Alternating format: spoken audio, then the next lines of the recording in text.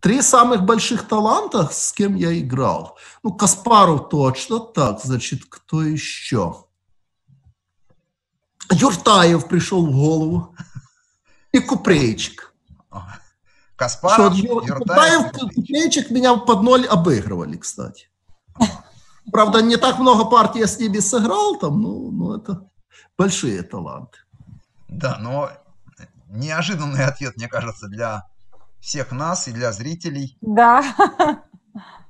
Да, и вот в этом же стиле, наверное, вопрос от зрителя пришел. Если использовать машину времени, с кем бы вы хотели сыграть матч из 16 партий в шахматах? Но, видимо, это говорится вот об эпохе, которая, ну... С Робертом Фишером. Когда он вот, был на пике. Вот я, кстати, хотела спросить, кто из э, великих шахматистов прош, прошлых веков, да, уже, наверное, так, кто, кто, э, кто ваш, ну, не знаю, любимый, может быть, неправильно сказать, кому вы симпатизируете больше всего? Капабланка. Капабланка, да? Да, я его, я его тоже просто обожаю. Замечательный игрок. Да.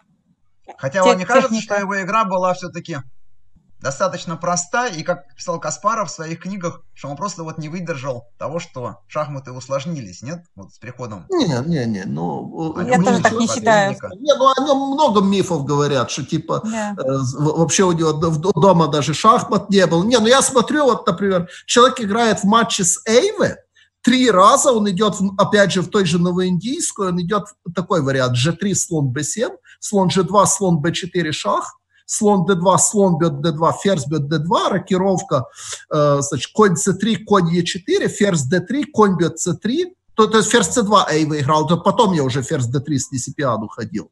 То есть идея моя хода ферзь d3 была в том, чтобы на конь бьет c3 ходить конь g5 и на конь e4 скромно побить конем с g5 на e4, чтобы конь c6 не шло с нападением на пешку d4, я смог спокойно рокировать. Ну а в тех партиях ферзь c2 Эй выходил, как по конь e4 ходил, то есть слон Е4, слон Е4, ферзь Е4, ферзь Ж5, ферзь А8, конь С6, ферзь Б7, конь Д4. Вот острейший вариант, причем против э, э, ну, супертеоретика Макса Эйве три раза в матче. Ну, то есть, извините, без подготовки такие вещи не делаются. То есть вы думаете, что он подготовился это? Не, ну понятно, да. Ты что сидел, анализировал внимательно, так что не рассказывайте мне байки, там, пожалуйста. Потому что я посмотрю партии и сам все пойму. Так, ну, пока Ирина взяла короткую паузу, я использую Давай. случай. Василий Михайлович, вот вас считают гением лет так с 18. Как вы можете объяснить природу гения? Что такое гений?